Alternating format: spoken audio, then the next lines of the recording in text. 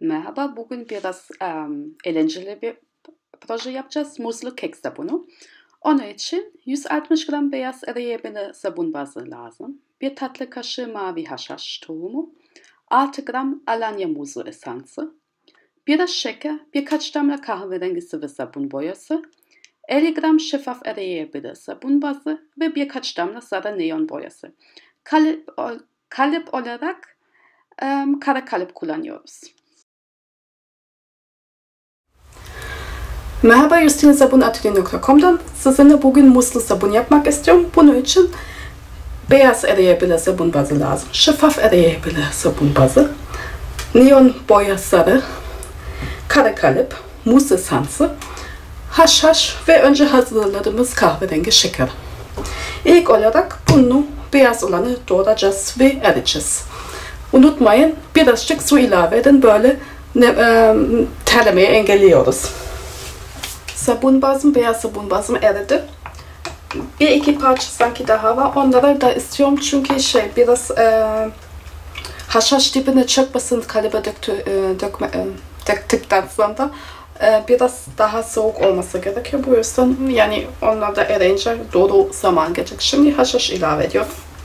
Bu hem peeling etkisi hafif yapıyor hem de hoş görünüyor.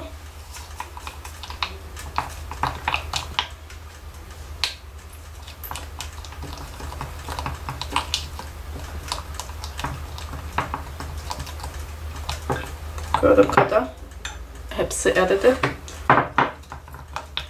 Esans ilave ediyoruz. Buz esansı.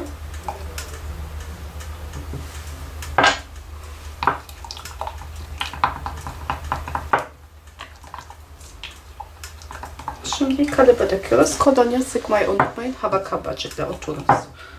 Düşmesin için. Bu tarif iki kalıplık olması gerekiyor. Hadi bakalım. Evet. Şimdi kolonya sıkıyorum. Soğutmaya bırakıyorum. Soğuduktan sonra devam yapacağız. Şimdi ilk olarak bizim renkli e, şeker kristalleri yap yapıyoruz. Bunları da banyo topları mesela süslemek için de kullanabilirsiniz. Ben burada toz şeker kullandım. İsterseniz um, tuz da kullanabilirsiniz. İri tuz da kullanabilirsiniz. Yani istediğiniz ebata göre seçebilirsin. Ben onu kahverengi yapmayı düşünüyorum. Hadi bakalım. Burada sıvı boya var. Sıvı boya, kahverengi sıvı boya. Ona biraz damlatıyorum. Bir kaşıkla karıştırıyorum.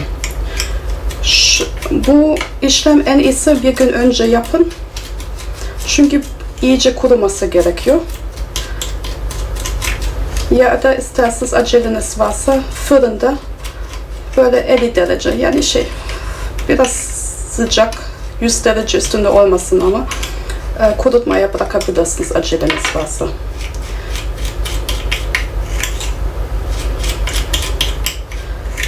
Kaşık yerinde onu da kapalı bir kavanozda çay kayarlarak da yapabilirsiniz. Görüyorsunuz. Yavaş yavaş bütün şekilde renk alıyor.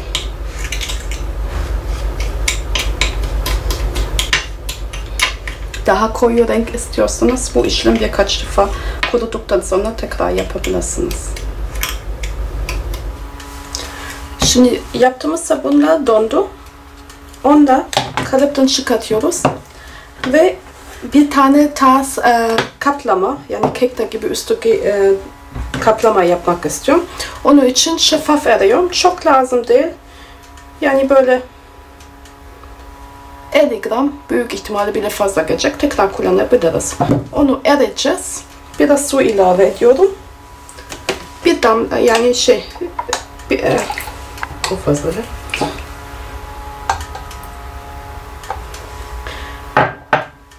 Biraz su ilave ettim. Yaklaşık bir tane çay kaşığı şu miktarda. Onu ereceğiz. Neon boyayı sarı hafif e, renklendireceğiz. Üstünde dökeceğiz ve önce hazırladığımız e, renkli şekerle de dekor yapacağım.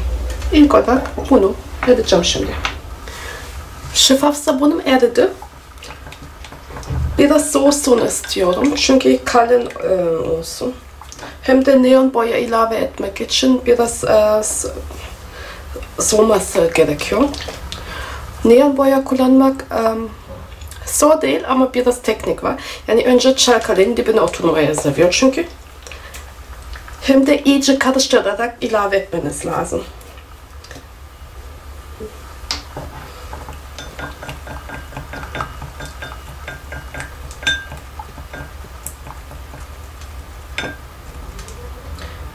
Az olduğun için um, esans ilave etmiyorum.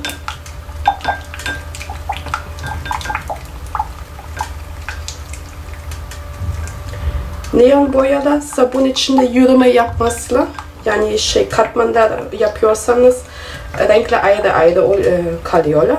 Fakat um, şeffaflığı azalıyor. Görüyorsunuz burada şeffaflığı azaldı.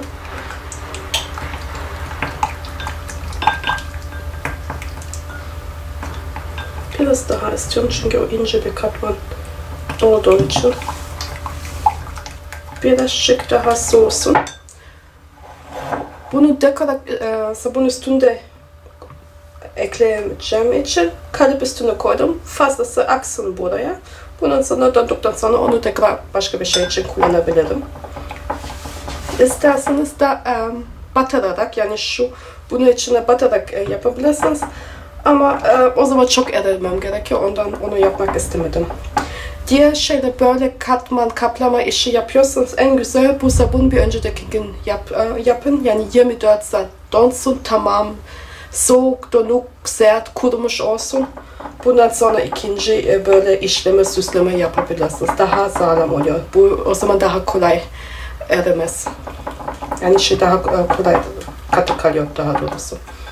Şimdi bir tane deneme yapayım. Olmuyorsa tekrar yapalım. Ben yaklaşık yarısı kaplamak istiyorum. Kek yapanlar da bunu benden büyük ihtimalle daha iyi beceriyorlar. Öyle.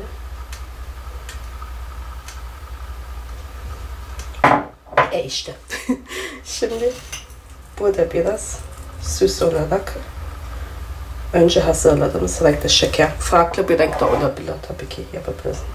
Bunu ikinci de yapıyorum. İstersen bunu bir kez bütün olarak deneyeceğim. Bunu daha iyi oldu.